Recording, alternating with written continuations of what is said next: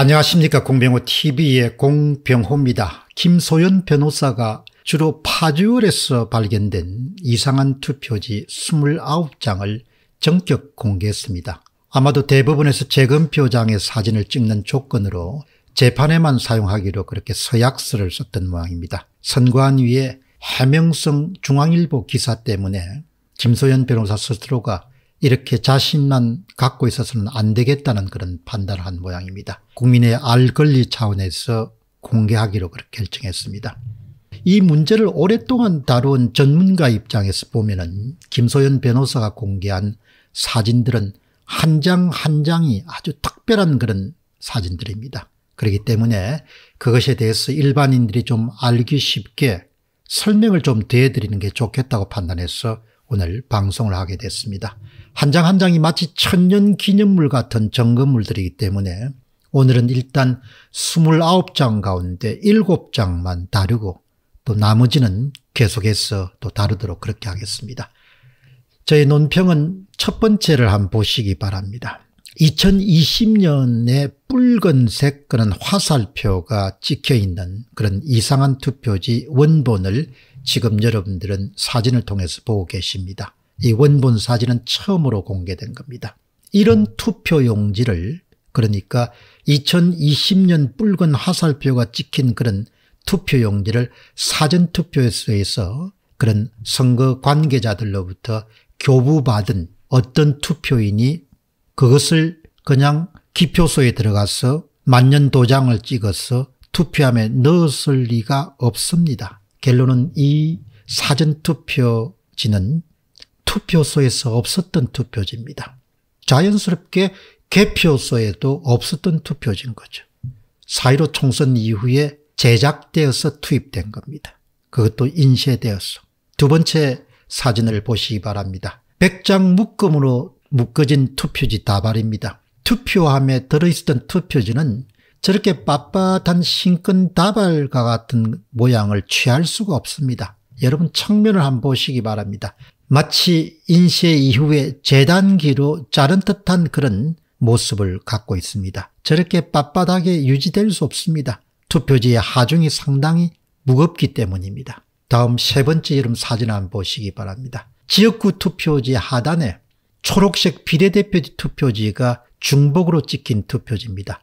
지금 여러분이 보시다시피 초록색은 원래보다도 아주 옅은 색깔입니다. 인쇄 특성상 수십 장의 비슷한 그런 중복 인쇄된 사전투표지가 출연했을 것입니다. 그러나 이것을 한 장 한 장 검수 과정에서 다 제거되고 실수로 이렇게 한두 장 정도 남은 것이 이번 재검표장에서 발견된 겁니다. 실수로 남은 중복 인쇄된 투표지입니다. 그러나 인쇄 특성상 이런 것이 수십 장 아마 찍혔을 겁니다. 수십 장이 계속 찍혀 나가는 과정에서 초록색이 점점 점점 옅어지게 됩니다. 사전투표지는 여러분 절대로 인쇄되어서 안 됩니다. 이것만으로도 그냥 이상한 투표지를 투입한 증거에 해당합니다. 무슨 구질구질한 변명이나 해명을 할 수가 없습니다. 거짓말을 제외하면 물론 거짓말을 만들 수 있습니다만은 거짓말은 전문가들이 다 거짓말인지 아는 겁니다. 선관위가 구질구질한 해명이나 변명을 할 수가 없습니다. 중앙일보 여러분들 그 홍보성 선관위 해명을 한번 보시기 바랍니다. 전문가 눈에는 어쩌면 이렇게 유치한 것을 신문에 도배를 할 수 있을까? 그런 것을 알고 모르고 쓴 심세롬 기자라는 사람은 누군가? 그런 것을 얼마나 돈을 받았는지 모르겠지만 중앙일보가 그런 것을 기사로 싣는가? 정말 정상적인 나라, 정상적인 사람, 정상적인 기자, 정상적인 언론사면 도저히 실을 수가 없는 겁니다. 찌라시에도 실을 수 없는 것을 실은 겁니다. 훗날에 아주 부끄러운 일이 될 겁니다. 네 번째 보시죠. 이것은 완전히 한국은행에서 막 찍어 나온 신끈다발 같은 빳빳한 투표지들입니다. 요즘은 선관위가 형상복원 투표지 등과 같은 표현을 사용하는지 모르겠습니다. 구겨놓더라도 그것이 다시 원래 형태로 돌아간다. 종이의 자, 재질은 절대 그런 성격이 없습니다. 그냥 이것은 인쇄해서 대량으로 투입한 점검물들입니다. 더 이상 다른 설명이 필요하지 않습니다. 다섯 번째 여러분들 김소연 변호사가 제공한 현장 사진 보시기 바랍니다. 박정 후보에 찍힌 기표인을 보시기 바랍니다. 온전한 정신을 가진 투표자는 당일 투표에서 저렇게 기표 도장을 찍을 수가 없습니다. 물론 선관위 측은 저것이 정상이라고 우기겠죠. 저건 정상이 될 수가 없습니다. 다음 여섯 번째입니다. QR코드가 있기 때문에 일단 사전투표지입니다. 이렇게 자석처럼 사전투표지는 붙을 수가 없습니다. 사전투표지는 앱손 프린트를 사용하고 롤 용지를 사용하니까 상하가 분명히 절단된 잘린 상태에서 투표인에게 한 장씩 한 장씩 교부가 됩니다. 어떻게 저렇게 붙을 수 있겠습니까? 결국 사전투표소에서 없었던 투표지란 이야기입니다. 더 이상 이야기할 필요가 없는 이상한 투표지입니다. 저것에 대해서 어떻게 선관위가 해명을 할 수 있겠습니까? 해명을 할 수가 없습니다. 다음 일곱 번째 보시죠. 사전투표지는 앱선 프린트로 출력되기 때문에 롤 용지가 반드시 사용되고 위와 아래가 분명히 잘립니다. 상하가 절단이 돼서 마치 우리가 음식점에서 롤 용기로 만든 그런 영수증을 받는 것과 꼭 같습니다. 위아래가 분명히 잘립니다. 저렇게 상하가 붙을 수 있는 확률은 0%입니다. 이런 종류의 자석 투표지가 네 차례에 재검표장에 수없이 발견됐습니다. 인쇄해서 대량으로 집어 넣었다는 증거입니다. 사전투표소에 없었던 투표지, 투표인이 직접 투표함에 넣지 않았던 투표지들인 겁니다. 이렇게 엄청난 증거들입니다. 한 장을 보면 은 수만 장, 수십만 장, 수백만 장을 우리가 추론할 수 있습니다. 통계학이라는 게 딴 게 아니지 않습니까? 수백만의 투표 성향을 또 선호도를 조사하는데 불과 한 천 명 정도의 표본 집단, 천 개 정도를 판단하지 않습니까? 이렇게 법정에서 감정 목적물로 채택된 한두 개는 그 한두 개가 뭐가 그렇게 중요하냐가 아니고 그 한두 개가 모집단, 실제로 투표지가 어떻게 문제가 있었는지를 말해주는 일종의 지표에 해당하는 것이죠. 그런 점에서 보면은 무슨 자석 투표지가 10장을 채택했다. 배춧잎 투표지가 3장이 나왔다. 무슨 1장 투표지가 5장이 나왔다. 이 3장, 4장, 10장, 5장 이런 게 중요한 것이 아니고 그게 거의 통계로 보면은 천명을 대상으로 해서 수백만의 투표 성향을 조사하는 것과 마찬가지로 그 바로 감정 목적물이라고 한 대법관들의 채택된 몇 장을 통해 가지고 선거의 실상을 낱낱이 알 수 있는 것이죠. 뭘 더 설명하고 뭘더 그냥 재판을 하고 야단 법석을 뜰 겁니까? 이 정도면 충분하죠. 공병호 TV의 공병호였습니다. 감사합니다. 안녕하십니까 공병호 TV의 공병호입니다. 김소연 변호사가 파주에서 발견된 이상한 투표지 29장을 공개했습니다. 이들 투표지들은 모두 다 재검표 현장에서 김소연 변호사가 참관인 자격으로 찍은 것들입니다. 이 가운데 별도의 방송에서 7장을 소개한 적이 있습니다. 이 부분을 놓친 부분들이 있으면 여러분께서는 꼭 이 방송도 보시기 바랍니다. 9장의 비밀이란 이름으로 방송이 됐습니다. 정말 이들 사진들은 귀하디 귀한 전리품과 같은 보물들입니다. 2020년도 4.15 총선과 그 이후에 일어난 일들은 이 이상한 투표지들이 낱낱이 정언하고 있기 때문입니다. 바로 이 투표지들은 주로 감정 목적물로 선택된 경우가 제법 있습니다. 우선 첫 번째를 보시기 바랍니다. 백장 묶음으로 된 사전 투표지들이 재검표를 기다리고 있는 중입니다. 이들은 모두 투표함에 있다가 개표소에서 개표된 사전투표지들입니다. 투표함 속에 있다가 개표소에서 개표를 거친 정상투표지는 여러분들이 지금 보시는 것처럼 이렇게 빳빳한 신끈다발 같은 모양을 가질 수가 없습니다. 투표함에서 투표지들이 받는 하중이 만만찮기 때문에 대부분 구겨지게 됩니다. 다음 사진을 보시기 바랍니다. 이른바 투표지가 붙은 좌석 투표지, 정확하게는 좌석 사전 투표지라고 부를 수 있습니다. 사전 투표지는 사전 투표소에서 앱손 프린트로 출력이 됩니다. 출력 과정에서는 분명히 여러분들이 대부분 음식점에서 받는 롤 용지를 사용한 그런 영수증과 마찬가지로 상하 위쪽과 아래쪽이 정확하게 깨끗하게, 깨끗하게 재단, 절단됩니다. 그 다음에 투표인에게 교부가 되고 그런 사전 투표용지를 받은 투표인들은 기표소에 들어가서 만년 도장을 찍은 다음에 정성껏 찍은 다음에 그것을 몇 번 구겨서 접어서 그 다음에 사전투표함에 투입하게 됩니다. 이렇게 사전투표지가 상하가 붙을 수가 없습니다. 이것은 바로 인쇄된 사전투표지를 말합니다. 자르는 과정, 재단 과정을 거치더라도 칼날이 자르는 칼날이 무디면 은 이렇게 붙는 현상이 드물지 않게 발생합니다.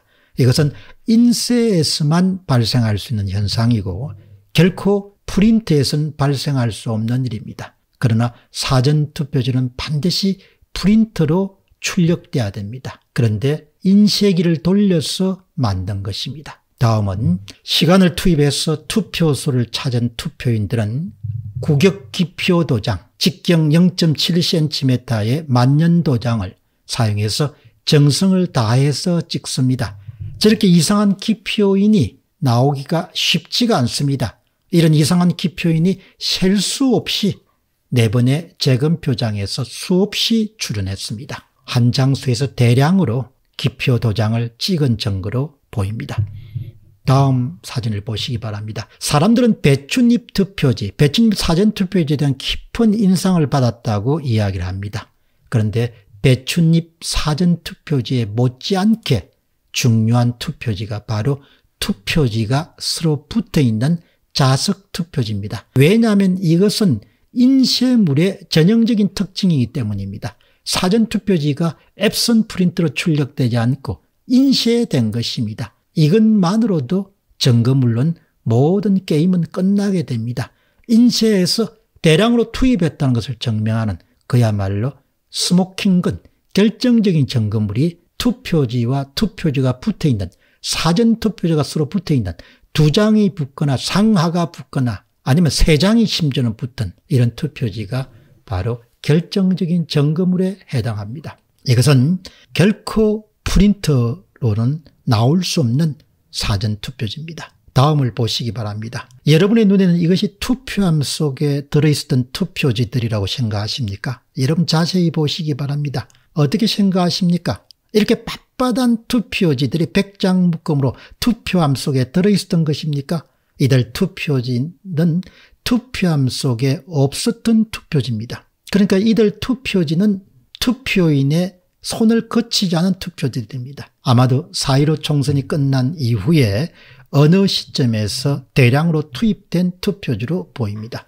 정말 예술 작품이다 이렇게 부를 정도로 깔끔합니다. 얼마나 깔끔하게 재단, 절단되었습니까? 여기에다가 빳빳한 신근다발 같은 투표지의 위용을 만천하에 떨치고 있는 중입니다. 대법관들은 눈이 있으니까 잘 보시기 바랍니다.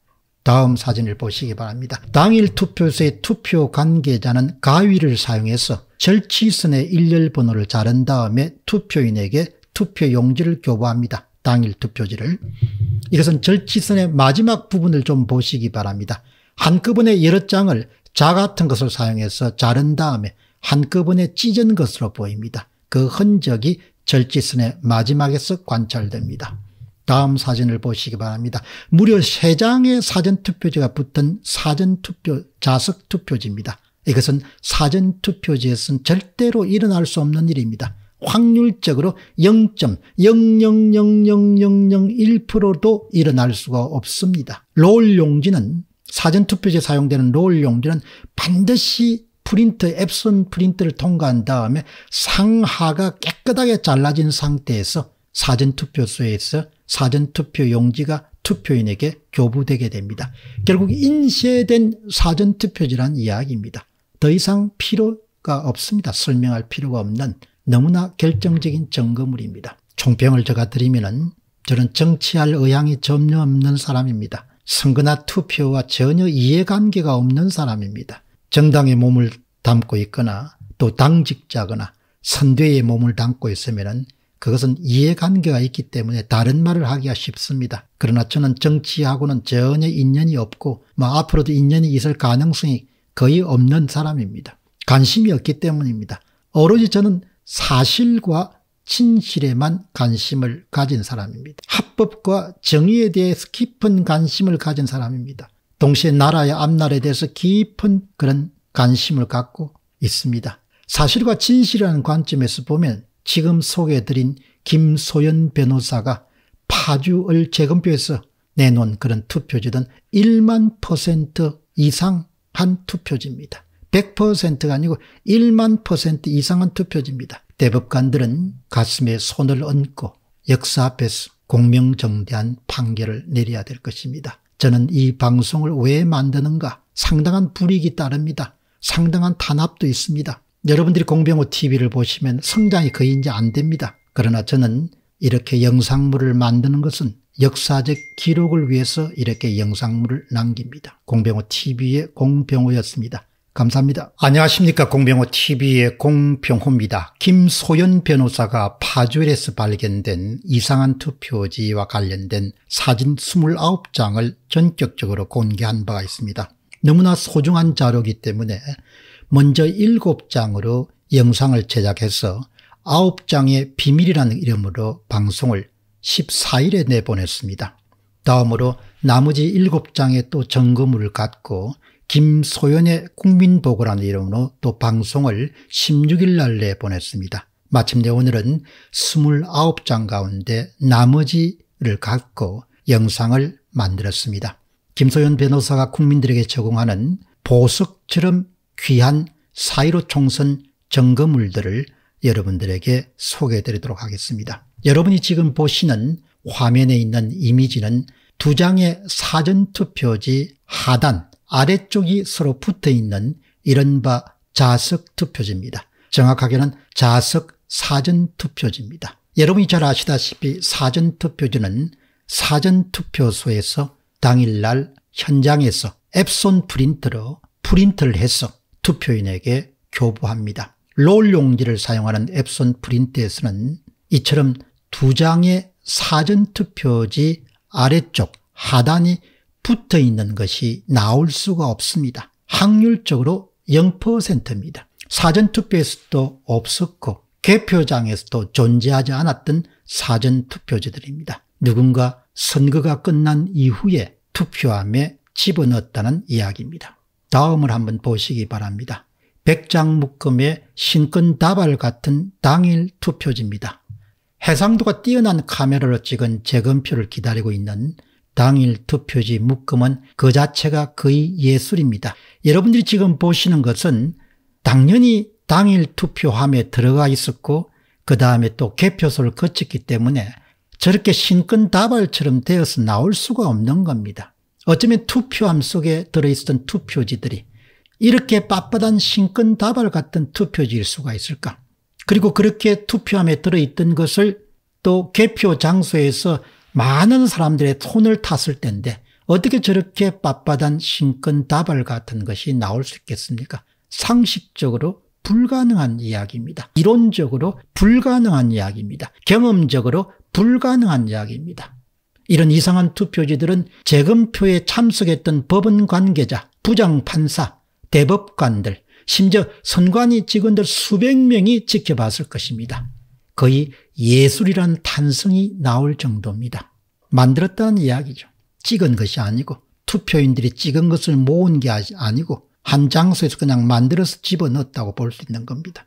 다음은 하단이 아래쪽에 붙어 있는 자석 투표지와 동시에 기표인이 구격 기표 도장으로 나올 수 없는 사전 투표지입니다. 인쇄 전문가들에 의하면 두 장 혹은 세 장의 투표지가 하단이 붙거나 혹은 상단이 붙는 경우에는 투표용지를 인쇄한 이후에 발생하는 현상입니다. 인쇄를 하게 되면 큰 종이 위에 수십 장의 투표용지가 찍힙니다. 그럼 그 수십 장을 재단기, 절단기를 이용해 가지고 자를 때 그 절단기에 사용된 칼이 묻이기 때문에 상단이 붙거나 하단이 붙는 그런 현상이 발생하게 됩니다. 흔한 현상은 아니지만 어떻든 그 재단기를 구성하고 있는 가장 중요한 그런 구성 요소 가운데 하나인 그 재단기 칼날이 그렇게 아주 그 예리하지 않으면 저런 일이 얼마든지 발생할 수 있다는 것입니다. 사실 이처럼 두 장 혹은 세 장이 붙는 자석 투표지는 배춧잎 투표지와 거의 어깨를 나란히 할 정도로 선교 무결성이 크게 훼손되어 있음을 말해주는 스모킹건 결정적 점검으로 해당합니다. 거의 제 눈에는 예술 작품처럼 보입니다. 그만큼 잘 만들었다는 이야기죠. 잘 만들기는 만드는데 그냥 예, 칼날 문제 때문에 그냥 덜미를 잡히고 만 겁니다. 다음을 보시죠. 또 다른 사전투표지의 아래쪽 하단이 붙어있는 좌석투표지입니다. 이미 앞에서 설명드린 바와 같이 이런 사례는 절대로 앱선 프린트로 나올 수 없는 현상입니다. 반대로 인쇄의 경우에만 발생할 수 있는 현상입니다. 결국은 사전투표지가 현장에서 프린트로 출력되지 않았다는 이야기입니다. 대신에 인쇄소에서 인쇄되어 가지고 대량으로 투입됐다는 엄청난 증거입니다. 맹백한 증거입니다. 거부할 수 없는 증거입니다. 제거할 수 없는 증거입니다. 수면하러 그냥 밀어 누를 수 없는 증거물들입니다. 다른 구질구질한 설명이 통할 수 없는 너무나 명확하고 명쾌하고 확실하고 명백하고 그런 증거에 해당하는 겁니다. 대법관들은 양심과 눈을 갖고 있으면 이런 것을 거부해서는 안 되는 겁니다. 다음 사진입니다. 하단에 아래쪽에 두 장이 붙어 있는 사전투표지를 최대한 확대한 그런 모습입니다. 결국 인쇄소에서 사용하는 재단기의 무딘 칼, 예리하지 않은 칼이 문제를 발생시키고 말았습니다. 무딘 칼 때문에 우리는 점검물을 포착하게 된 겁니다. 일명 자석 투표지, 즉 꼭 붙어있는 사전투표지는 사전투표소 출신이 아닙니다. 인쇄소 출신입니다. 전문가들은 자연스럽게 내뱉습니다. 너 왜 그 모양이야? 너 왜 그 모양이야? 너 왜 그 모양이야? 그러자 사전투표지가 이렇게 답합니다. 전 인쇄소 출신이거든요. 전 인쇄소 출신이거든요. 저는 사전투표소 출신이 아닙니다. 저는 앱손 프린터 출신이 아닙니다. 저는 인쇄소 출신입니다. 이런 소리를 전문가들은 들을 수가 있는 겁니다. 그렇게 속삭거리는 소리를 정확하게 들을 수 있는 겁니다. 사전투표지가 프린트로 출력되지 않고 인쇄되었다는 것에 대해서 탁 똑똑한 영특한 명문대를 졸업한 대법관들에게 뭐라고 더 설명을 해줘야 되겠습니까? 무엇을 가지고 대법관들에게 설명을 해줘야 되겠습니까? 감정이 필요합니까? 저는 감정이 필요 없다고 봅니다. 이미 현장에서 감정이 다 끝나는 겁니다.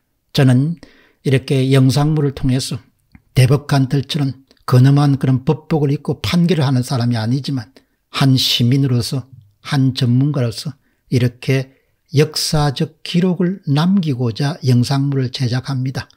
많은 사람들이 다 눈길을 주지 않지만 어떤 책임감을 느낍니다. 대법관들이 어떤 판결을 내리든 간에 역사의 기록물로 저는 남기는 겁니다. 유튜브가 없어지지 않는 이 기록물은 영원히 남을 겁니다. 그리고 정언할 겁니다. 그들이 어떤 일을 행했는지 그들이 어떤 판결을 했는지 공병호 TV의 공병호였습니다. 감사합니다.